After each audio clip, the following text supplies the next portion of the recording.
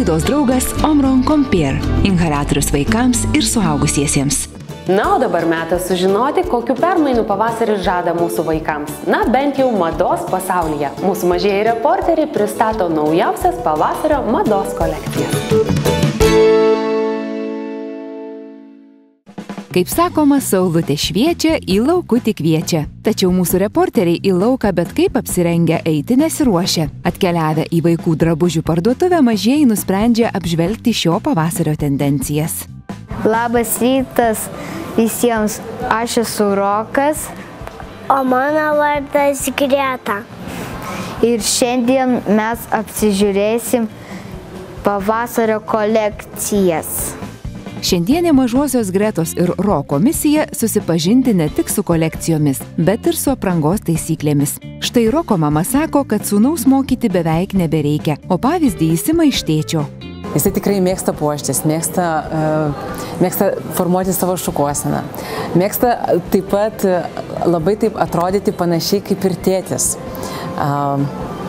Tai pas jį tikrai yra ir nemaža ir peteliškių kolekcija, ir turim ir diržų, ir, ir, ir petnešų. Roko ir Gretos paprašėme išsirinkti skirtingus derinius dviem progoms - mokyklai ir atostogoms. Tad jaunieji stilistai netrukus kibo į darbą. Nu, Gretute, tai gal jau turbūt kažką esi apsižiūrėjus. Ką? Gal pradedam turbūt nuo atostogų. Skirtingus stilius atspindinčios mergaičių drabužių kolekcijos šiemet žaismingos, ryškios ir spalvingos puikiai tiks atostogoms. Gausų gėlių, raštų, gamtos motyvų bei piešinių, o spalvos įvairios nuo pastelinių iki ryškių. Greto žvilgsnis iš karto nukrypsta į pūstą neriniuotą sijoną. Įdomu, ką mažoji išsirinks dėvėti prie jo. Bet tu pasižiūrėk, šita kokia dar graži, visai nebloga. Kaip tau, kaip tu? Graži. Graži. Graži, imamės ją. Įmami šitą. Ar dar nori dar kažką pasižiūrėti? Nu, pasižiūrėk.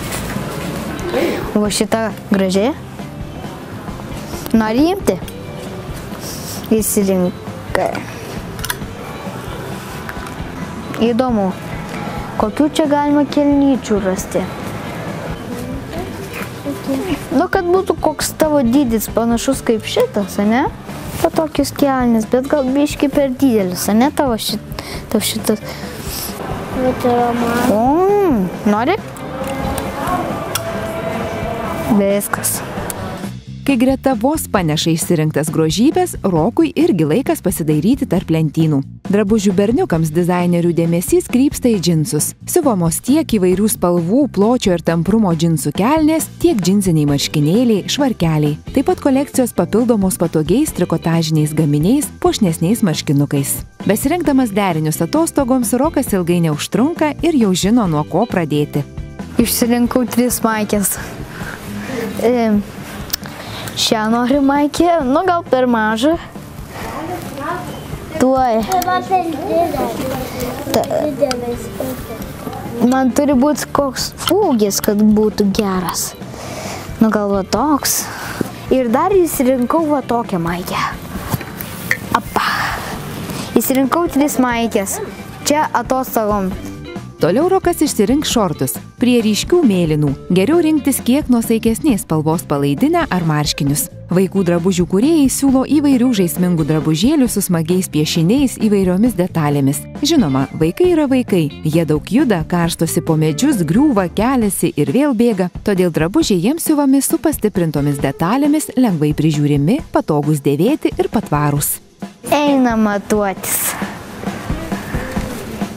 Minutė kita ir Rokas pristato pirmąjį derinį. Variantas gražus, tačiau dar ne pats geriausias. Gerai viskas, bet šortai biškės spaudžės.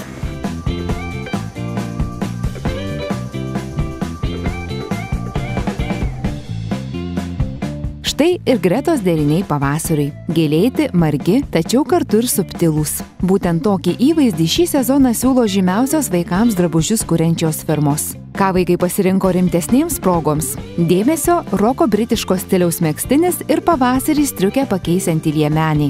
Gretai languotas serapanas kartu su pilku mėgstuku. Šiek tiek priminantis uniformą vyresnėms mergaitėms šis derinys puikiai tiks ir į mokyklą.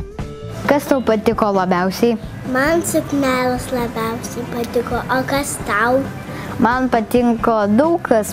Šiaip patiko man visi rūbai. Roko mama Melisandra, kuri irgi žvalgėsi po lentynas, džiaugiasi vaikų pasirinkimu ir kitus tėvelius ragina mažiesiems duoti daugiau laisvės. Tų taisyklių, aš nežinau, nelabai turbūt reikėtų dabar toj vaikystėje jų, jų paisyti. Tiesiog, kad vaikas jaustųsi laisvai, ryškiai, vis tiek tos ryškios spalvos, vis tiek ir vaikų fantaziją žadina ir, ir patiems vaikams smagu jaustis spalvingai. Tai tiesiog jaustis gražiai, spalvingai, tvarkingai ir švariai. Vaikai, tikiuosi, kad jums ši kolekcija patiko. Iki.